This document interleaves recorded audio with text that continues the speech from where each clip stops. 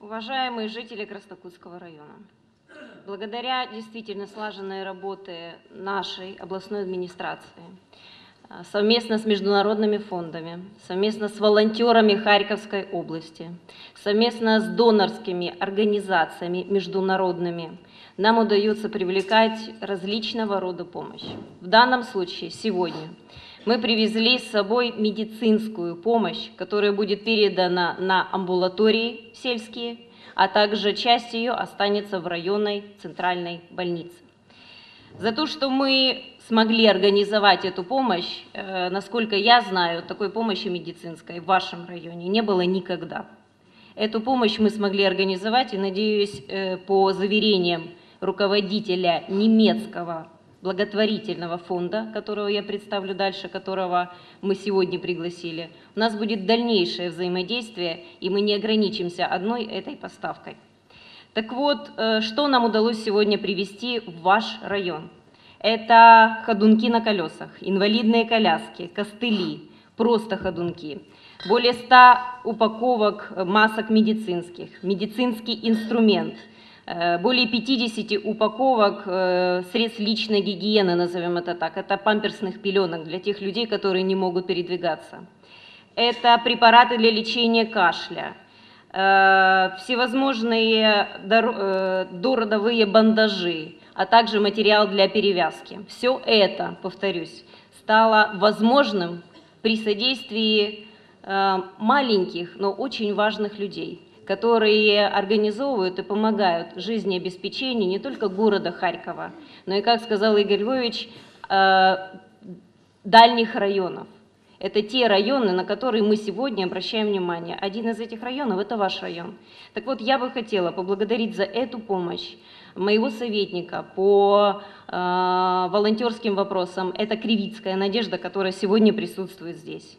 Также я бы хотела поблагодарить руководителя, а вернее сказать, главу фонда «Марбург», Абос Плюс Светлана Диченко, которая сегодня с нами, который человек, находящийся в Германии, сегодня приехал для того, чтобы оставить медицинское оборудование и медицинские э, препараты у вас здесь, в Красном Куте.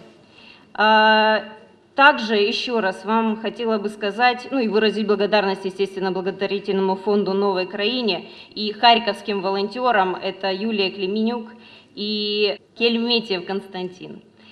А, мы сегодня передадим это позже районной центральной больнице, и каждый из вас будет иметь доступ до этих медицинских товаров. Спасибо.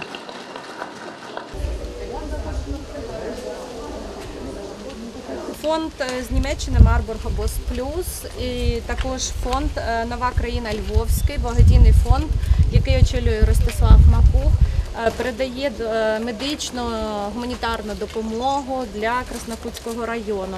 І ми сподіваємося, що ми будемо працювати далі і допомагати нашому рідному краю. Також у всій Україні, тому що наша Україна це гідна Україна, і кожна людина в Україні потребує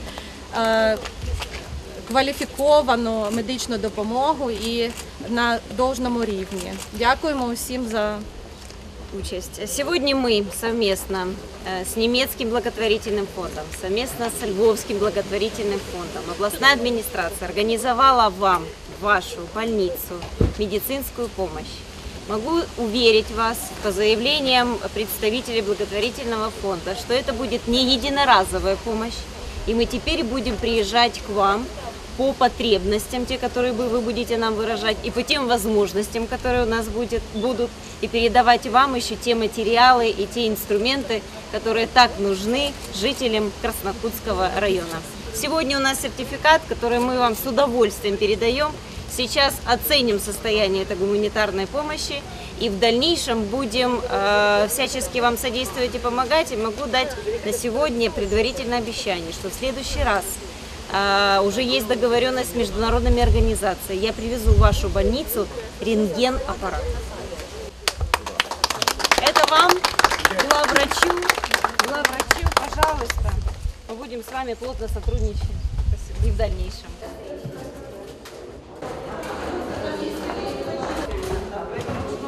Нет.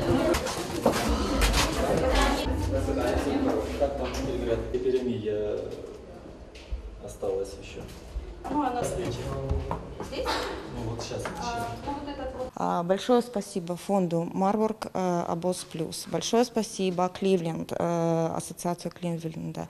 Большое спасибо э, диаспоре э, венгерской, вот в частности памперсы, которые здесь стоят, это помощь венгерской диаспоре.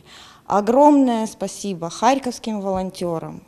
Это десятки людей, которые а, тихо делают свою работу, помогают и в АТО, и э, Харьковской области. И э, отдельная большая-большая благодарность Харьковской администрации, Южной железной дороги за всестороннее содействие в реализации этих проектов, за то, что у нас э, была возможность, э, наверное, одну из самых тяжелых частей проекта реализовать практически беспроблемно и безболезненно. Это логистика. А, Большое спасибо за вагоны, большое спасибо за фуры.